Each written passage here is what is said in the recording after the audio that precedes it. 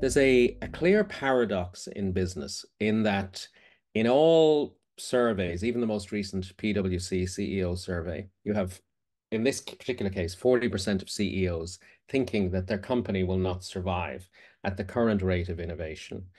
Uh, they will prioritize innovation as a top three agenda item for the boardroom. And the people who are practicing innovation um, in a way, are seem to be very, always very tied to specific projects.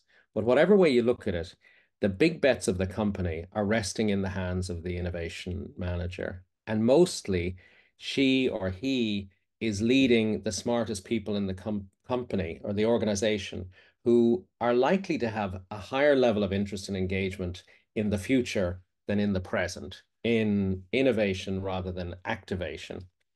But when I was working in this space as one of the first heads of ideation for a big company, I couldn't help noticing that inevitably, when the big plum jobs came up in the C suite in or the organization, they never went to innovation people.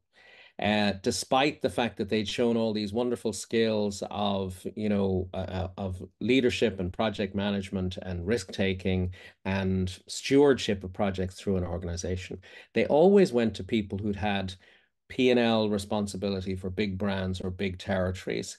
And what tended to happen then is the innovation people tended to leave. Uh, they were overlooked and they moved into different organizations, which represents a huge drain on, um, you know, the tacit knowledge of, of an organization.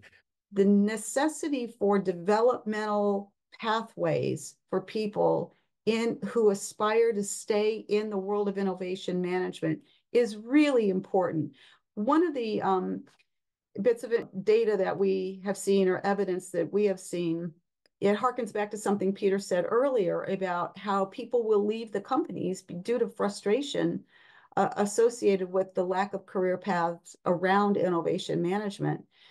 We, we see people leaving the organizations because they don't necessarily want to go into more operational excellence roles. But the scary part for executives when they hear the sort of the evidence that we have is that they tend to join other organizations in their innovation roles. And so we're losing this very rare kind of person to competitive companies.